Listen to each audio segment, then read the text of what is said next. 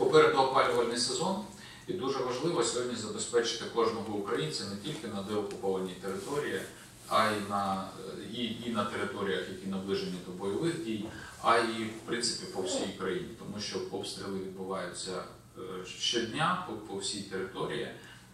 Кожна область, незважаючи на те, чи на сході, чи на заході, але вона потенційно е, в зоні ураження, на жаль. І ми розуміємо, що можуть виникати складні ситуації в е, цієї зими. Тому е, на сьогоднішній день є ряд доручень, е, які складаються з того, щоб забезпечити і запас паливної деревини для населення, забезпечити доступність цієї деревини, яка включає в себе і логістику, і відповідно ціноутворення.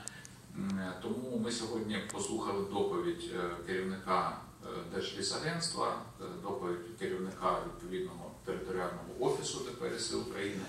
Е, Розуміємо, що на сьогоднішній день на Полтавщині у нас є близько 10 тисяч кубічних метрів дров постійно на складах. Є відповідний ресурс щодо забезпечення. Е, Проговорили з головою адміністрації питання координації, щоб дрова доїхали до кожного українця, там де це потрібно, включаючи незахищені верстви населення.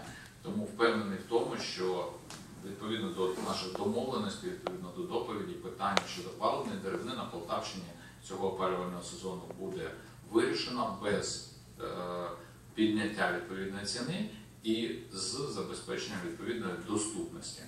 Е, Тому.